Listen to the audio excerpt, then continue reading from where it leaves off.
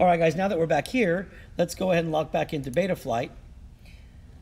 and we still got everything powered on. And what we're going to do is we're going to go to our motors tab now.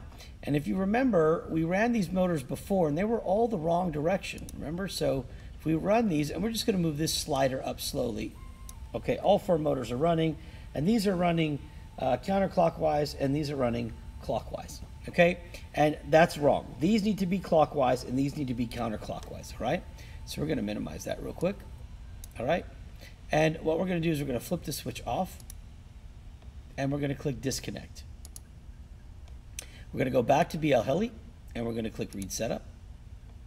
All right, now each motor is running the wrong direction. So what we're going to do is we're going to, again, isolate each motor. Right click on motor one to where it's isolated. See where it says reversed? Turn that off. Once you click the arrow, because you're up here, if you go here's reversed, here's bidirectional, we want to go to number one, which is normal, and click write setup. You have to do this, you have to write the setup for each motor. Then go to motor two, it's reversed. Write setup. Okay, motor three, I'm not sure why they're all reversed. Move it to normal, write setup. Okay, and then motor 4, right click on it, move it to normal, and then click write setup. All right, now we're going to disconnect again. We're going to open our Betaflight.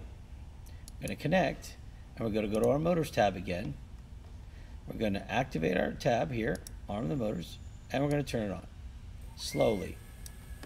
And now motor 1 and 4 are spinning correctly, and motor 2 and 3 are spinning correctly. For some reason, the default on this one was to spin them uh, the wrong way, uh, it had them reversed. So now we've done it. So now you have actually just uh, set your motor direction, okay?